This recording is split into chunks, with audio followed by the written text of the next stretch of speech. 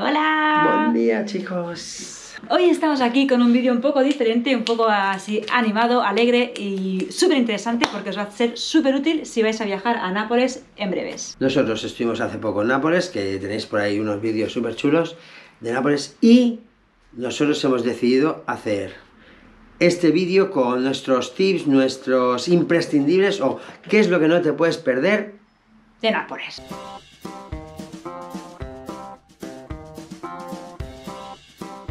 Primero decimos que Nápoles es una ciudad que nos encantó desde que la pisamos, nos enamoró desde el primer momento y que recomendamos 100% que vayáis a verla. ¿Sí, o sí? Sí. Total. Primero, perderse y pasear por el centro histórico de Nápoles.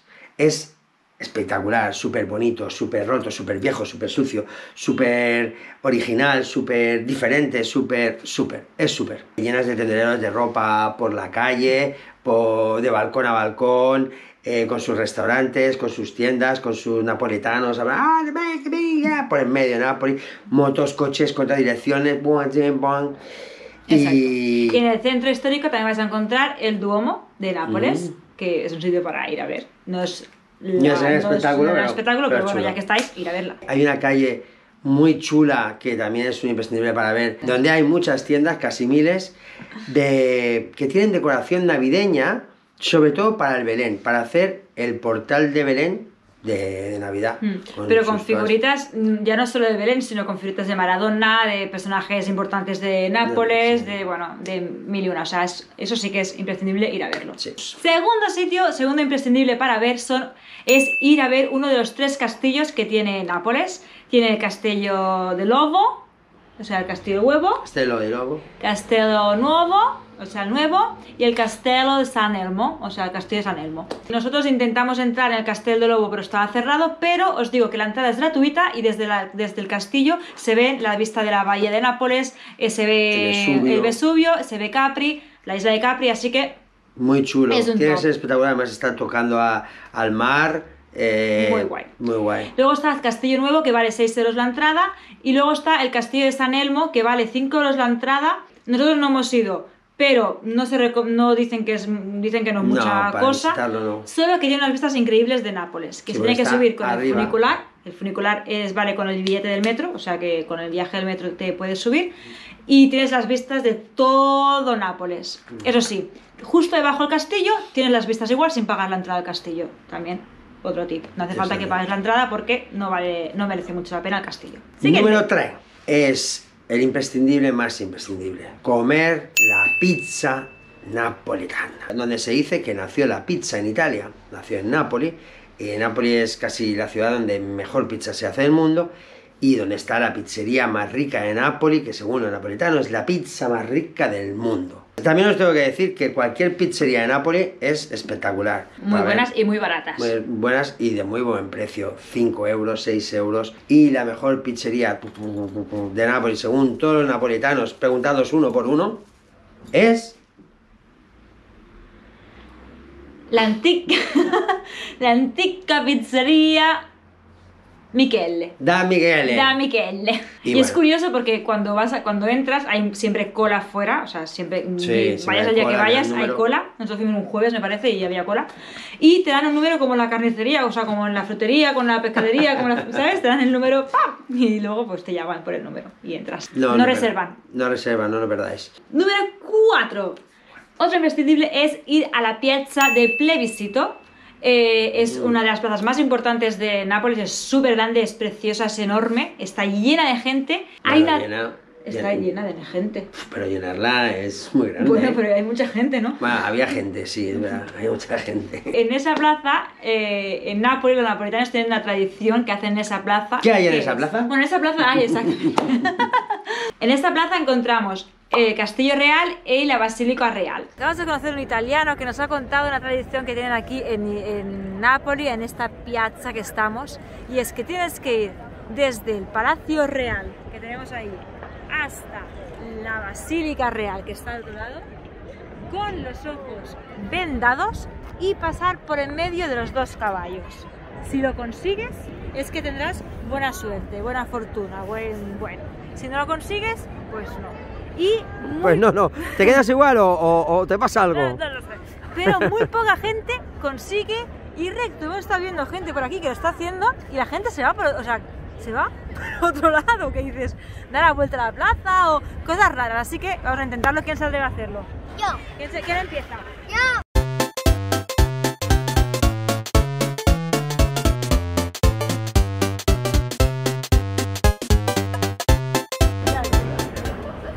Sigue, sigue, sigue, sigue. Cuidado. Vale.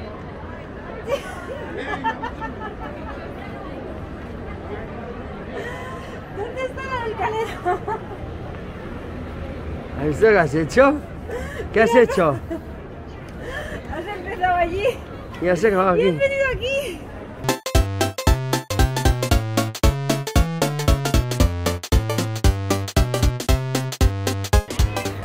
Qué fuerte, está haciendo lo mismo que el Armán, pero el Armán se ha ido, ha salido del centro y ha ido para la izquierda y ella para el otro lado. Mira Qué fuerte.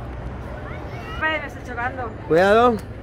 Ya, poco, no, no, tira, tira, tira, tira. Todavía, todavía, tienes, todavía tienes. Todavía tienes. Ahí ya vale, vale, vale, vale, ya estás. Ya está, ya está, ya está, ya está. Tan, tan, tan. Ya. Uh.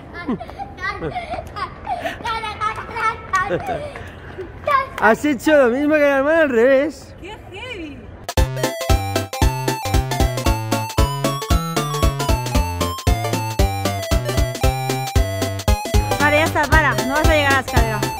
No.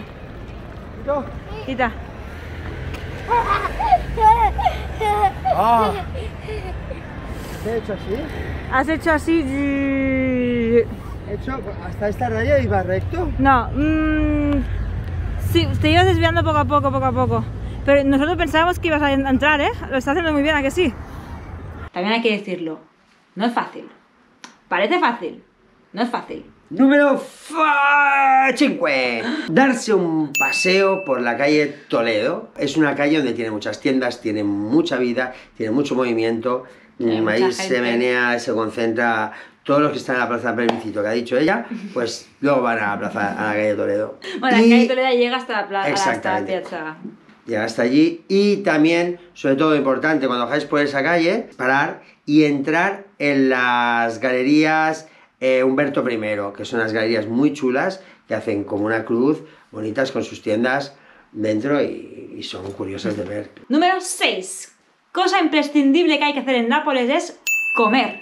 Porque en Claro, Nápoles se se, come, come muy bien. bien. Hay que comer en Nápoles porque se come súper bien. Y hay dos cosas que no puedes dejar de probar en Nápoles. Una es la pizza frita o los cones o los conos de comida frita.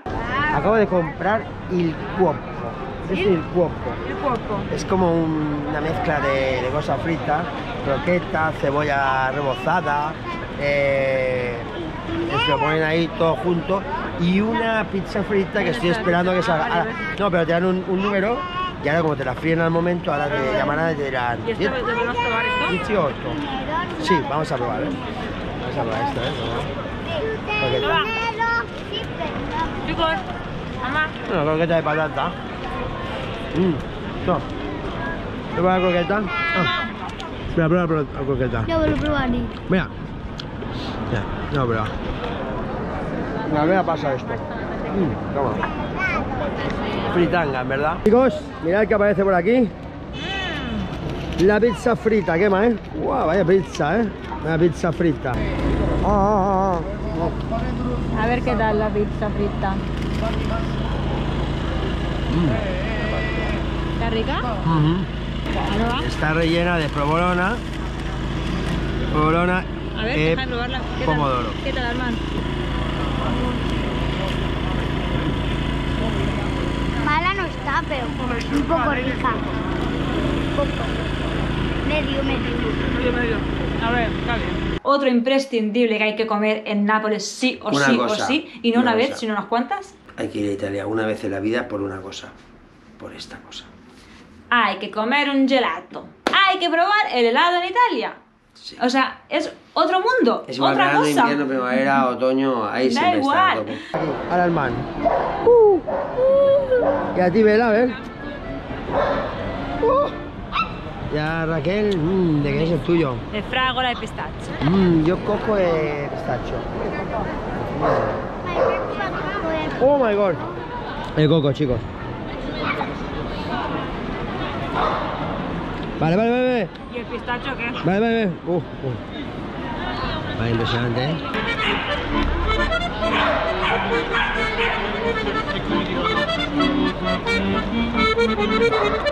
Siete.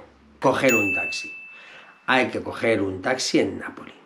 Sea como sea. O si alquiláis un coche, no, va a No, ser lo mismo. no, hay que coger un Hay taxi. que coger un taxi. ¿Por qué? Porque como conducen en Nápoles, no conducen en ninguna parte del mundo. O sea, Nápoles tiene una peculiaridad y es que conducen, conducen bien, Yo, para mí conducen de maravilla. conducen muy bien, porque conducen bien, Es pero ahí, pipiripiri, pipiripiri. Aquí tanto el último. Sí, sí, sí. o sí, sea, sí. yo paso y tú ya pasarás. Y si te esperas mucho, paso yo. Así es, sí. pero... No se paran porque sí en los, en los eh, pasos de peatones. O sea, el peatón pasa, viene el coche, que le va a chocar, pues pasa por detrás y el peatón va para adelante. Que ve que tiene un poquito más de un segundo, ¡pum! pasa por delante. Y entonces el que viene de frente pasa por detrás. Y el peatón si- sigue su camino y le pasa uno por delante, uno por detrás, uno por aquí, uno por arriba, uno por abajo. Pero no pasa nada. No Eh, pasa nada. Entonces, si vas en taxi con una persona de allí napoletana, que se conoce bien las calles, se conoce bien cómo, cómo se conduce, pues lo vas a vivir Al principio no sabrá si se las conoce, porque de repente girará en contradirección, de repente se meterá en el carril de los, de los tranvías, eh, pasa los semáforos en rojo, entonces dirás, ¿se lo conoce o no se lo conoce? Igual no es napoletano, pues sí, es que lo hacen todos. Y lo de las rotondas es súper guay, o sea, las rotondas son aquello de que va entrando uno, luego otro, luego no, ahí entran todos a la vez en la rotonda. Las cinco calles que, que van a la rotonda, todo el mundo entra dentro de la rotonda justo Todos a la misma vez. Y de repente entra todo y salen todos. No me ha pasado nada.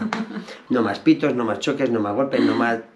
Como mucho a veces te pitan para avisarte, eh, ¿qué pasó, guay, ñam? Que me Pero cuelo. Cuando pitan no es para decirte nada malo, es como para... "Ch, Paso. Eh, ¿qué pasó, eh? Ah, Que no me voy a parar, tú mismo. Exacto. Las motos hacen lo mismo, van en contradirección por todos lados.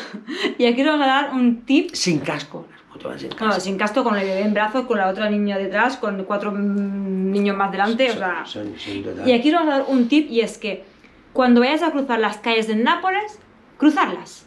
Sí. No os esperéis. Porque si os esperáis, no vais a pasar la calle nunca. No. O sea, podéis estar media hora de reloj Mirando a ver hasta que paren, no pararán. No van a parar. O sea, tú cruza. Pon la mano y se pararán o no y tú cruza. Si queréis eh, ir en taxi por Nápoles, podéis enviarnos un mensaje que os daremos el contacto de nuestro taxista en Nápoles, Salvatore. Ya es un amigo para nosotros. Es el mejor taxista de Nápoles, el mejor conductor y os va a hacer un tour increíble. Número 8. Si vas a Nápoles con niños no puedes dejar de ir a una de sus plazas, ya sea el, el plebiscito o cualquier otra, de Toledo o cualquier otra, y jugar a calcio con los niños de allí.